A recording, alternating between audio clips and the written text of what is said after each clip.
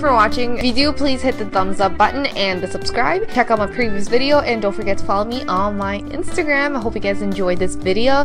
And like always, until next time, bye!